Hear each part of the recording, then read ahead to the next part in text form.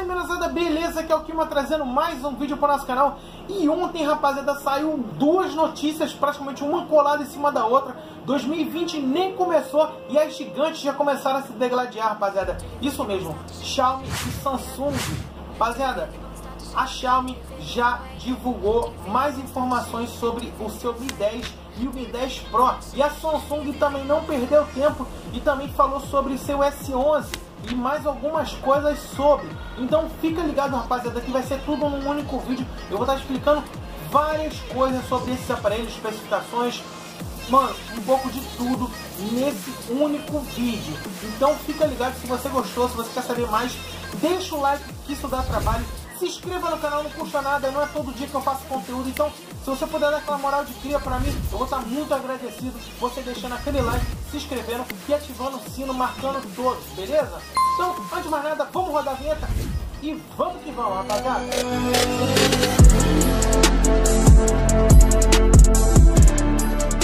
Bom, rapaziada, a Samsung hoje mais cedo soltou suas primeiras notícias sobre o S11 e uma delas é a data de lançamento do aparelho, que a empresa sul-coreana já anunciou a data que o lançamento do S11 está previsto para acontecer no dia 11 de fevereiro.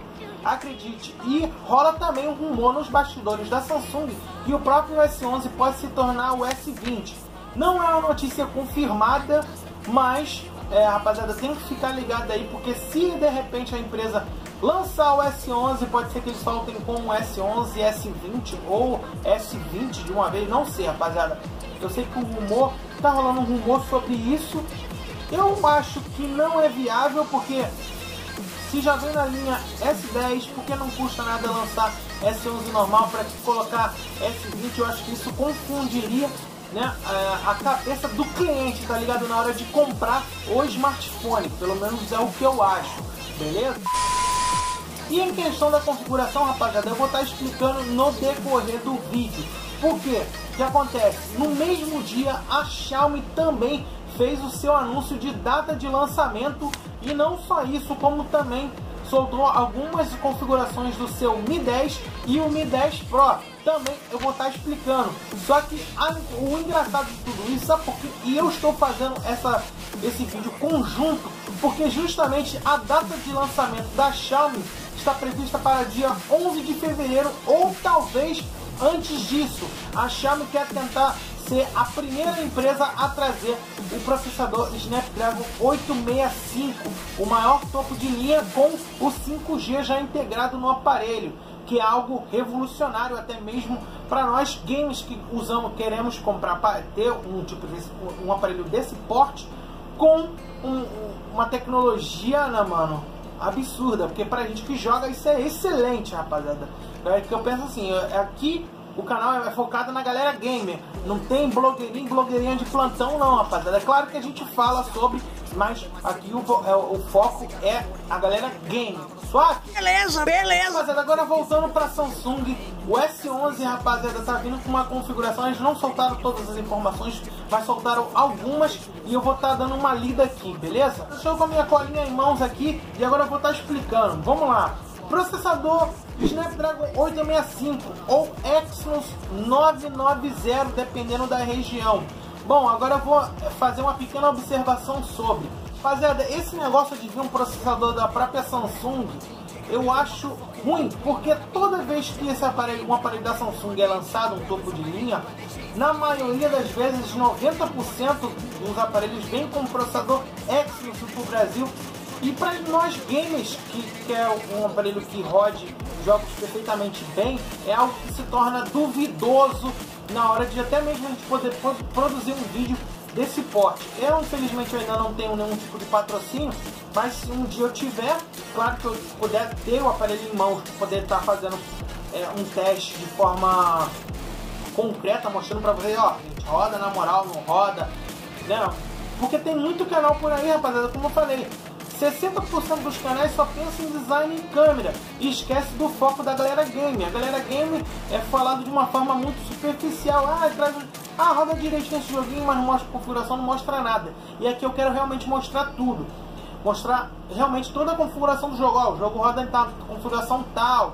E isso, mostrar para vocês, porque os jogos mais populares justamente é os jogos que, não, que a galera joga, né, mano? Como PUBG, Free Fire, Fortnite. Então a galera quer saber se esses jogos rodam perfeitamente bem. Tem um Call of Duty também, tem o Asphalt, tem o PES. Então são jogos bem populares aqui. Então a galera procura, às vezes, no YouTube conteúdo dessa forma. E muitas das vezes, muitos canais é, deixam a desejar porque focam na câmera e no desempenho. Ou seja, blogueirinhos e blogueirinhas de plantão ficam felizes e os games que se.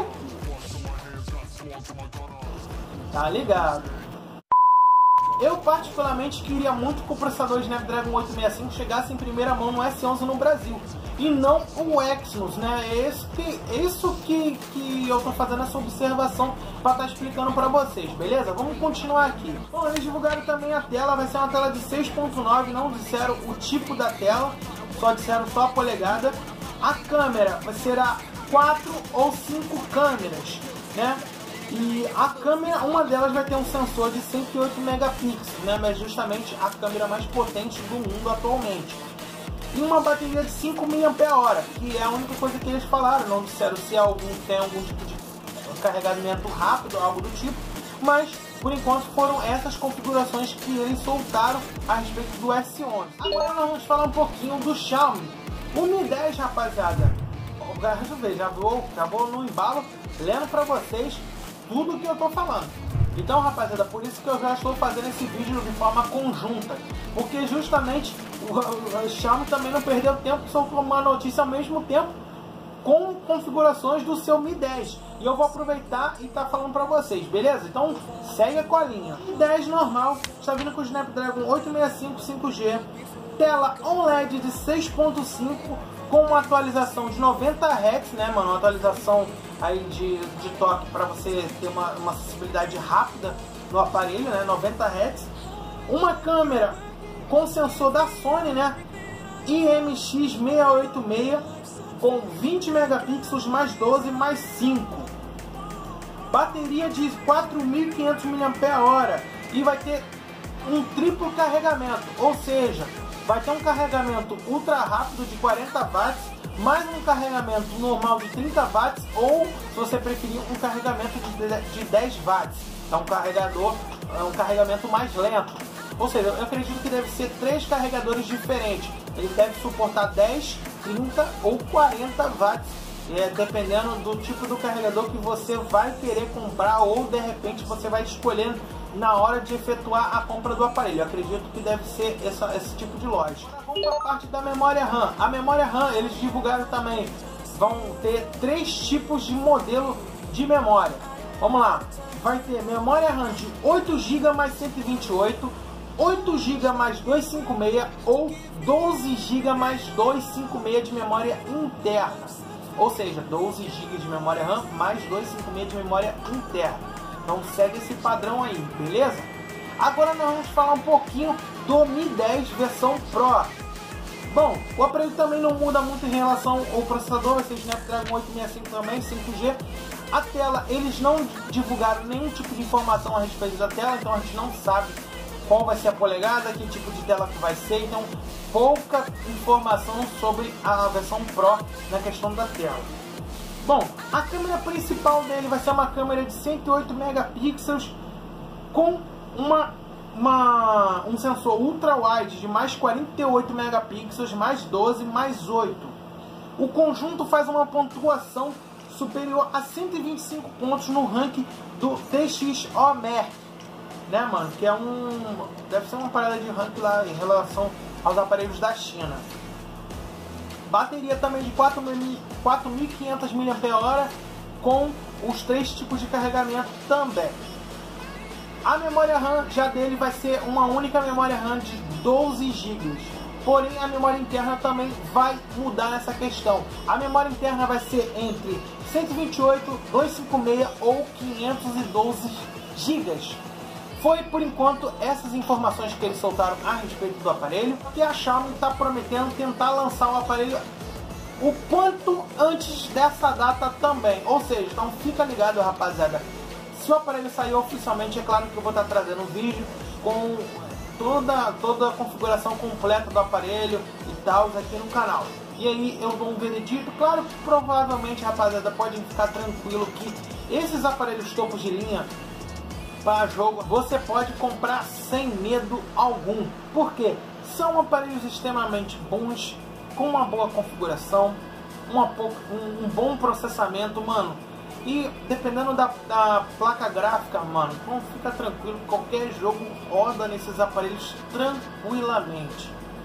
Ah, só uma observação, a Xiaomi divulgou, não se sabe se isso é concreto ou não, mas a fez uma média de preço aí, eu vou colocar diretamente convertido para real. 1.10 normal, a Pro, vai entre 2.100 até 2.700 reais. Não ficou caro 1.10 e está com uma configuração extremamente monstra. Né? Se você a configuração básica eles soltaram praticamente tudo. Que falta aí é a questão de tela, bateria, algumas coisas que eles ainda deixaram muito espaço vago. Mas eu acho que com isso, rapaziada, no decorrer dos dias eles vão com certeza soltar tudo sobre o aparelho da Xiaomi. Claro, Samsung também não vai perder tempo, até porque ela já botou data já prevista para o seu lançamento e, claro, vai estar trazendo uma parada bem legal aí para todo mundo ao redor né, do globo. Beleza? Rapaziada, estou finalizando o vídeo, espero que vocês tenham gostado. Isso deu trabalho, deixa o like para fortalecer, se inscreva no canal, ative o sino e, claro, fique com o último vídeo. Muito obrigado a todos, valeu, fui.